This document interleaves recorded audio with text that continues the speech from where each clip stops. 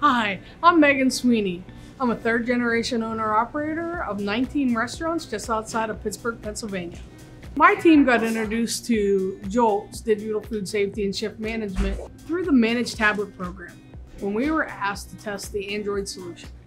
Instantly, my kitchen manager enjoyed the features of the digital food safety, more specifically, the speediness of the auto stabilization. My supervisors enjoyed being able to set up custom alerts being able to be in tune with what was happening with digital food safety daily.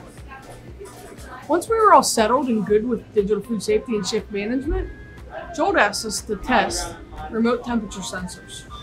Once we got that all set up, we figured out the reason why these things are good.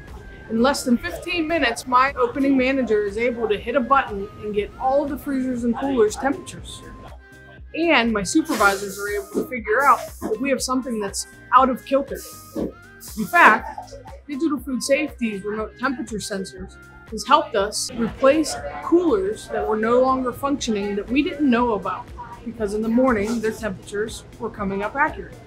The remote temperature sensors were successful in our organization because it reduced the craziness that the opening manager had to do running around temping all freezers and coolers. It also was able to have alerts sent to my supervisors, and we were able to replace equipment that wasn't holding temperature properly. The key piece about Jolt is, is that they are focused on customer service. They understand McDonald's, and they want to have the best program in the system. Myself and my team are happy Jolt customers.